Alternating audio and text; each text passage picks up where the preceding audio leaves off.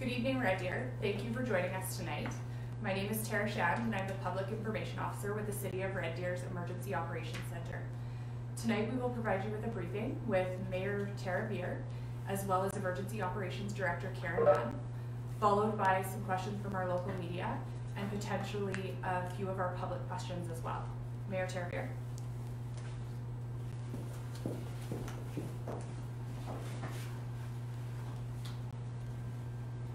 Good evening, my fellow Red Deerians and Central Albertans. Thank you for joining us today for this Facebook Live conference uh, to update on the efforts of our local operation, Emergency Operations Center. The City of Red Deer continues to closely monitor and respond to the COVID-19 situation, and we are continuously adjusting our local response in accordance with federal and provincial protocols as well as assessing the needs specific to our community of Red Deer. As part of her update today, Dr. Hinshaw confirmed 41 new cases of COVID-19 in Alberta, and this growing number obviously continues to be a concern for us at the City of Red Deer. The mapping on the AHS website indicates 17 cases in the central zone and 9 cases in Red Deer. I will note that Red Deer is included within the central zone. The City of Red Deer remains in a state of local emergency, and we encourage you to visit Alberta Health's website for the latest and most up-to-date health information and information regarding provincial restrictions. And so certainly uh, we emphasize uh, that if you have questions about the number of, of cases and the location of those cases, to please go on that Alberta Health website uh, as the health authority has all of that specific information. The City of Red Deer continues to explore all options related to necessary measures that we can take to protect the health, social, and economic wellness of our local citizens, business, and our community as a whole. The health and safety of our citizens is our priority. And I've said it before, but I will continue to say it, that virus mitigation continues to be our primary focus. This is the primary driver for all of the decisions being made by the City of Red Deer Emergency Operations Center. With this in mind, I share with you today that over the weekend and today, we have and are taking the following additional measures into all of the responsive measures that we've announced in previous community briefings.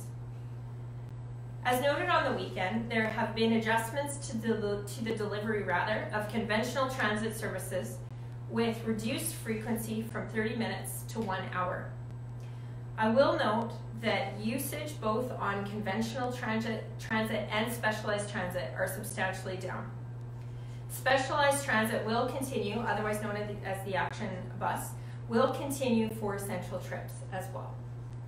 I will say that our Emergency Operations Center is also looking into dial-a-bus options. Uh, we know that transit, the transit situation is a bit fluid right now, uh, but our emergency operations are looking into dial-a-bus uh, options uh, in order to make sure uh, that we are keeping our public safe, but that we also have sufficient service provision in our new normal.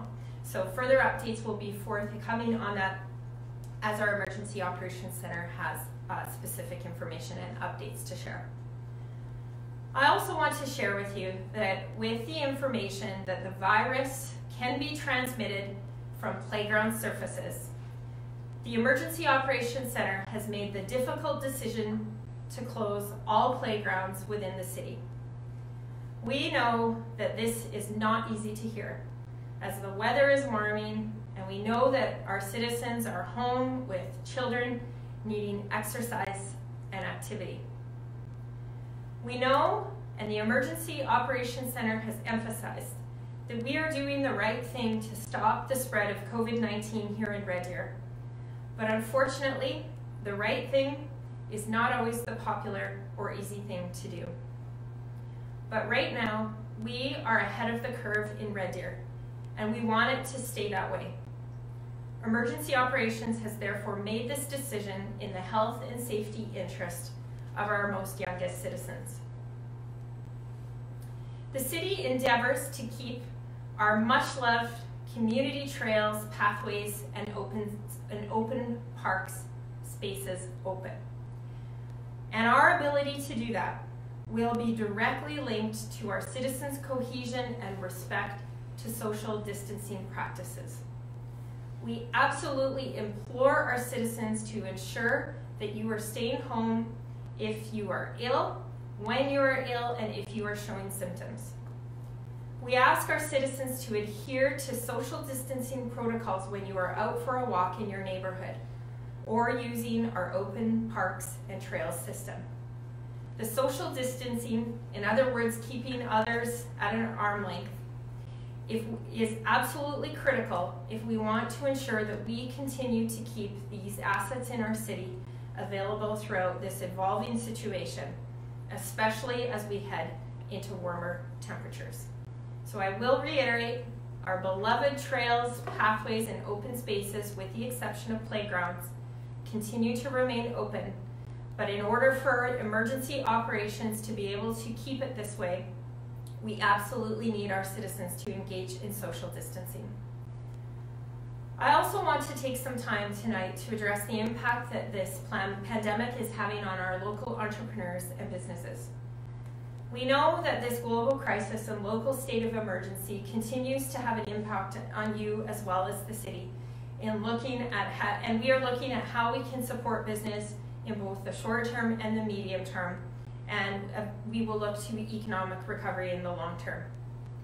However, we also encourage businesses that are able to remain open under the provincial protocols to practice social distancing at your place of business and to limit or stagger the number of people visiting your businesses, whether you're an essential business or a non-essential business. Uh, we note that social distancing is absolutely imperative uh, as a critical measure. Last week I mentioned uh, that we are actively looking and we have fielded numerous community questions with respect to property tax and potential property tax deferral. I will say that we have a scheduled conversation tomorrow with Municipal Affairs uh, regarding the provincial direction on property taxes and so we will hopefully have further information later in the week for the people of our community. Uh, so again, I know that that's uh, an an issue of particular interest to our citizens because of the financial impact, and it is still on the table. However, there's a lot of logistics with respect to that, and we're in active conversation with the province. So we hope to have briefing on that in the coming days. Community friends, together we can prevent the spread of COVID-19 in Red Deer, and together I am confident that we will get through this. We genuinely thank each and every one of you in our community who are doing your, your part to help prevent the spread and for everything that you are all doing to help our community get through this together. In alignment with the messaging from Alberta Health Services, the mechanism and frequency of our daily updates may change going forward. The City of Red Deer will continue to update you through our social media channels rather, on our website and through videos. However, we will assess the need uh, for briefings on a daily basis. And especially we will provide briefings when we take consideration of new federal, provincial, and local measures being taken that are absolutely imperative for you to be informed of. Please be sure to continue to follow the websites made available by the federal and provincial orders of government, the City of Red Deer website, as well as Facebook and Twitter uh, through the City of Red Deer's channels for the most update information. As always, if you have questions, our call center is ready to help. Our City of Red Deer staff are there from 8 a.m. until 8 p.m. and you can call them at 403-342-8111. Their focus is on municipal operations and potential impacts that that may have on you and your loved ones. Uh, but they will also do their best to route you to provincial and federal governments uh, with respect to the questions that you have there as well. So thank you very much, Red Deer, for tuning in, and I look forward to your questions.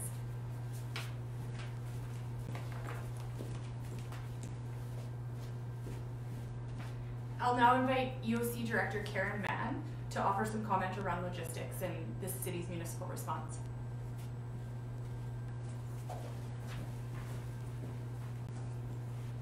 Good evening, Red Deer. Once again, I'm here to bring you information from the City of Red Deer's Emergency Operations Center. The City of Red Deer's Emergency Operations Center remains committed and steadfast in our delivery of the essential services that you, our residents, need. For this reason, we continue to take all necessary steps to protect our residents and our staff. For health-related information, we continue to urge citizens to visit www.ahs.ca for health-related questions. At the City of Red Deer, we continue to update our website at reddeer.ca as it pertains specifically to our municipal response. Additionally, between the hours of 8 a.m. and 8 p.m., the City of Red Deer call center remains open to serve you and answer your questions. As Mayor Veer highlighted, highlighted to you just now, we are taking measures in the um, next couple of days to close our playgrounds and fitness parks across the city. In the coming days, you'll start to see increasing signage and cordoned off areas in and around our playground structures. Please avoid these areas. As a parent, I know that this is very difficult. Um, as the mayor mentioned, the weather is getting warmer and our kids are home.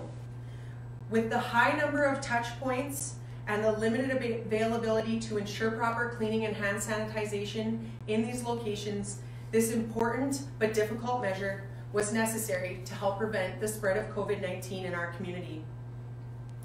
In addition to the steps related to playgrounds, we, are, we also did make some changes to our conventional transit service uh, to respond to this ongoing situation. Originally, as we reported through the weekend, we adjusted conventional transit service to an hourly service beginning at 7.45 in the morning. Based on your feedback, we are adjusting this service to begin at 6.45 beginning tomorrow.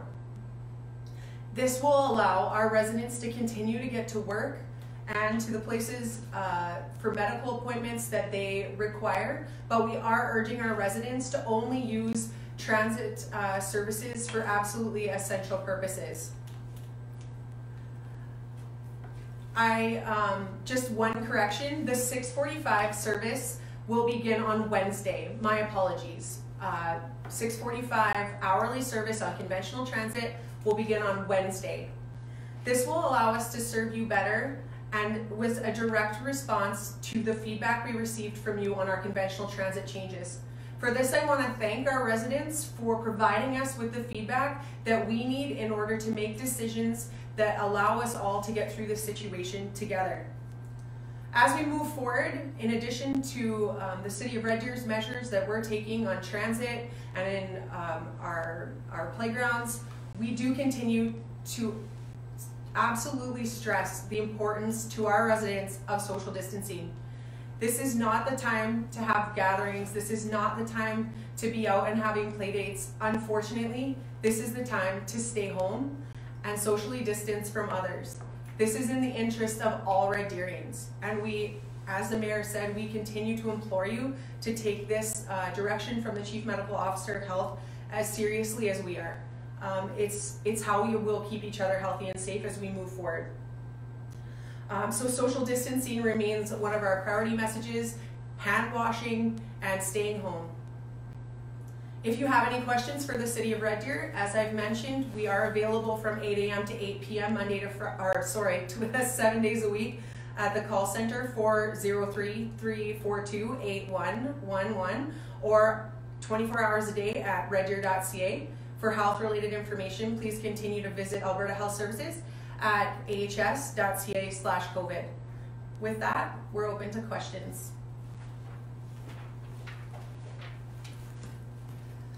So we are going to take a few questions from our public Facebook feed tonight, followed up by some media questions. One of the questions we've received a number of times this evening relates to whether or not our dog parks are also closed or if they remain open for business. Uh, thank you. That's a great question. Uh, so at this time, the dog parks do remain open. The decision taken by emergency operations with respect to playground structures was for the fact that playground structures have a lot of touch points uh, and it's very difficult to monitor for little kids, uh, especially uh, the touch points uh, and then potentially uh, not washing their hands or touching their face uh, or, or, or their mouths while on the or immediately after the playground structures. I would like to come back uh, to the parks in general. So playground structures are closed. However, trails, open park spaces uh, in general, the dog parks would be classified as open park space, uh, and, and open neighborhood pathways remain open. But I would emphasize, please, Red Deer, the Emergency Operations Center is imploring to engage in social distancing. Obviously, as we head into warmer months, uh, and with limited uh, recreation and social options available uh, to people, it, we really do desire to continue to keep open parks and trails and pathways open. Having said that, if citizens do not engage in social distancing and it's putting other people in our community at risk, emergency operations will have to revisit it.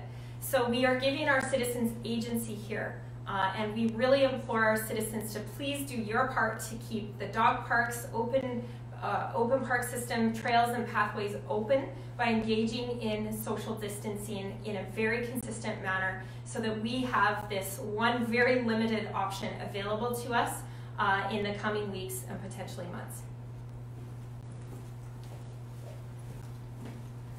Thank you, Mayor. Another question that we've received a number of times through our feed is related to private business and why private businesses remain open at this time and when we anticipate closure of non-essential businesses. Veer. Thank you. I will lead off on this one and then I'll defer to Director Manning in case there's any additions to that. Uh, so the City of Red Deer has taken the lead. This the opening and closures of businesses has been predominantly determined by the provincial government. Uh, so the provincial government has very stringent or very uh, specific classifications about what is an essential business and a non-essential business. And essential doesn't mean important uh, overall, but essential means in an emergency situation, what are the types of businesses that, that our communities and our citizens need in order uh, to be able to survive and engage in uh, the pandemic measures. The provincial government right now has closed certain types of businesses, and there are some currently non-essential businesses that remain open. I will say it's a bit confusing uh, for the public. So an example of an essential business, uh, I believe the Premier has spoken about grocery stores and banks uh, as being essential types of businesses. So uh, I believe that the plan will be for those to remain open. So then the question is non-essential businesses. Uh, I think it's confusing for our public right now because there are some non-essential businesses where a specific company has decided to close on their own accord. So there is a, a bit of a mixed response in terms of non-essential businesses. Unless the provincial government has declared that a certain suite of non-essential businesses must be closed, sometimes those private businesses have opted uh, for their own business decisions. They have opted to close their doors temporarily. But for those that are still allowed to remain open, that are non-essential businesses, uh, they, they, it is not business as usual. Those specific businesses must engage in social distancing. And I will say that there are other provinces uh, that have gone the route of closing non-essential businesses. Alberta has not yet taken that track, but that will be a call of the provincial government and we will be closely watching that. And again, the city will come into complete alignment with whichever the province decides on that. So I'll come to Karen if there's anything further. Okay. Director Mann indicated that uh, Mayor Veer covered that question off. So we will um, answer one last public question, and that's related to property tax and what, if anything, is the city doing about property taxes. Mayor Veer.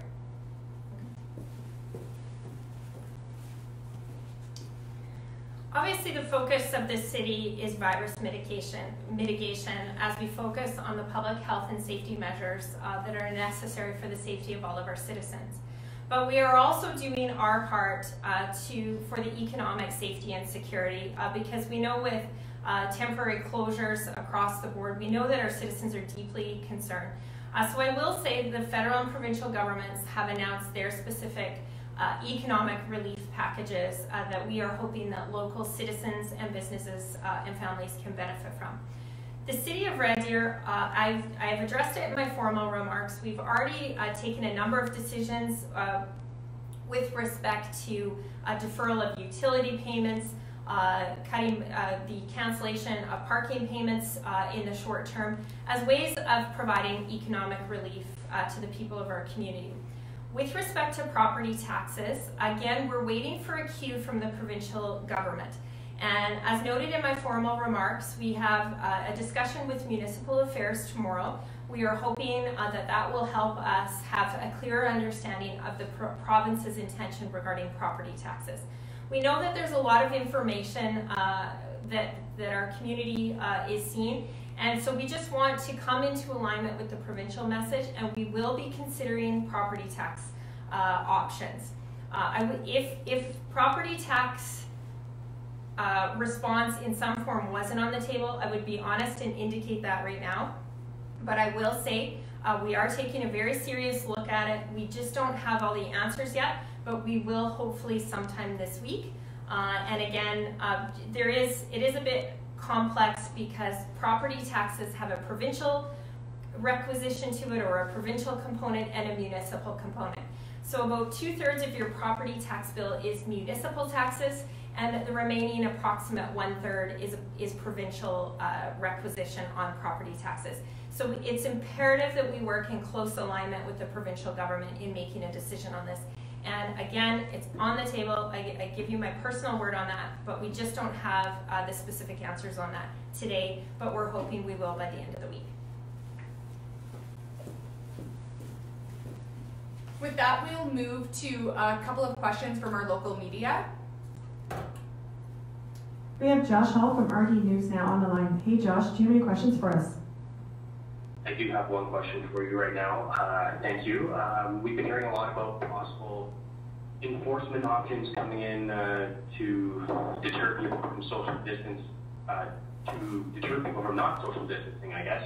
Um, and now that uh, there's a ban on using playgrounds, are there any measures that the city can take to uh, actually enforce that if people are seen uh, using the playgrounds? And if people see people using the playgrounds, who should they report that to?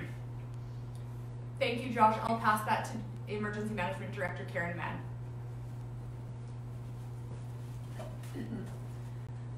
Good evening. Thanks for the question. So, in relation to enforcement options, first and foremost, our goal is to um, compel compliance through information. So, our goal is to communicate effectively with our residents and get them to understand why these actions are being taken. And that's why we come to you each evening and speak to you about the decisions that are being made from the Emergency Operations Center. With that being said, decisions that are um, made by the provincial government, so the closure of, say, casinos or uh, businesses hosting over 50 people, those would be under the public health state of emergency, and the compliance around that falls under environmental public health. So it's a branch of Alberta Health Services. And there is an option for residents who have questions or concerns about environmental uh, public health um, issues in our community to contact uh, them directly. So we will have that information available to you. I don't have the number offhand, but Environmental Public Health does have a contact number that is available to residents who have questions about um, closures that were enacted by the provincial government. On the municipal side, uh, the City of Deer is considering enforcement options around any closures that we implement. So some closures, they are easy to um, enforce because they're buildings, such as rec facilities, we lock the doors and they're closed. Things like playgrounds re rely a lot more on um, community compliance and um, residents encouraging each other to follow the direction that has been provided. So in terms of formal enforcement options, we are considering what is available to us. However, at this point, the enforcement lies primarily with people choosing to do the right thing in the name of public health and safety. Thank you. Josh, do you have a follow-up? No, I don't. Thank you. Thank you very much. Thanks, Josh. We had another caller join us. Uh, sorry I didn't get your name. If you can tell us where you're from and if you have a question for us tonight. Uh, yeah, Lana Michelin from the Red Deer Advocate, and I do have one question. Go ahead, Lana. Um, I just wanted to ask, um, you know, in light of the fact that recreational facilities are closed and now playgrounds are closed, uh, one of the city councilors had said we have to start telling people what they can do instead of just what they can't do. Um, are, is there any thought that uh, people who plan uh, recreational programming could um, maybe put some kind of activities or ideas online for, um, you know, parents who are getting a little bit desperate uh, to entertain their children? Um, I don't know, geocaching or something else that doesn't involve like a ton of other people, you know, might be an idea, but I just thought whether, uh, I would ask whether there are any thoughts to this kind of thing. Absolutely, Lana. I will pass that to Mayor Veer for initial comments. Thanks for the question, Lana. I will uh, I will lead off on this question and then I will defer to Director Mann for specifics on it. Uh, as I've noted on numerous occasions, our primary focus right now is virus mitigation. And so unfortunately, the focus, uh, it's the very unfortunate but necessary focus, is uh, with respect to restrictions. And it's absolutely imperative that we settle into our new normal and engage in uh, social distancing. Uh, we certainly know that the parks closure will have significant impact uh, on, on particularly our younger population. Uh, there is a, a Facebook page uh, that's been established called Red Deer Active at Home uh, that talks about some of the things that people can do uh, to engage kids and youth in particular, but certainly it affects it affects people in all ages and stages of life because this is a new normal for all of us. Uh, I, I, do think that as time goes on, uh, there will be potentially uh, more creative options that we can look for as a community. Uh, but the primary focus right now of emergency operations is virus mitigation and public health and safety. Uh, and the second area of focus is, is with respect to mitigating the significant economic consequences that the pandemic is having on households and businesses. Uh, and thirdly, looking ahead, uh, given the fact that this is the new reality uh, that we will all need to settle into, uh, we will uh, be looking at specific options that are safe options uh, to engage in while we go through these restrictions. And I'll come to Director Mann for specifics on that.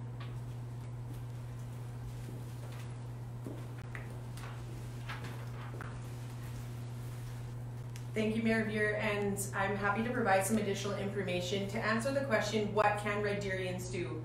Um, as we spoke earlier, while playgrounds are being closed due to their high number of surfaces and touch points and the challenges that exist at playgrounds with uh, providing access to hand washing and hand sanitization, uh, green spaces in communities do remain open, as do our trails and our dog parks as Mayor Veer has already said, as long as people are able to maintain safe social distancing, these, um, these spaces will remain open. And there are a lot of options for Red Deerians to get out in these spaces and be active with their families or alone. Biking, running, and walking are some great examples. Um, the other example was Red Deer Active at Home. It's a great uh, Facebook page that has ideas not only about fitness, but also cultural activities, things to do with your kids, ways to connect in your community while social, socially distancing, but not becoming socially isolated. So there's lots of great ideas posted on there by the city with our community partners. And um, it's all in the name of ensuring people remain connected to community, uh, that we're taking care of each other, and that we're maintaining our mental health and well-being through the long stretch here. And then finally, uh, for people who have access to decks, patios, yards, driveways. Um, we're seeing people provide some creative ideas about how to use those spaces uh, with their kids and create some unique and fun uh, things to do within their smaller um, their smaller areas. And we continue to look forward to connecting with Red Deerians through this ongoing situation to find out how you're staying connected and how you're staying active.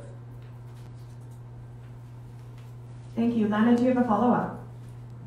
No, that's good, thanks. Thank you. Thank you for joining us tonight, Red Deer. We just want to remind you that our call center is open if you have questions. 403-342-8111. As the mayor has spoken to tonight, we will be modifying how we share this information with you, but we will continue to share information with you through videos online and through our social media accounts. So please um, go there to get any city response related information. Thank you, Red Deer.